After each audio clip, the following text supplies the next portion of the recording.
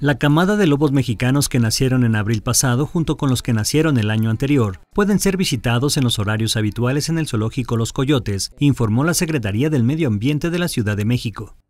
Dichas crías, las ocho nacidas en este año, resultan ser la camada más numerosa registrada desde la participación de México con Estados Unidos en el Programa Binacional para la Recuperación de este carnívoro. La CDEMA aseguró que los lobos han tenido un excelente desarrollo y adaptación dentro de su albergue y ahora forman parte del grupo más grande de lobos que se ha albergado en los zoológicos de la Ciudad de México.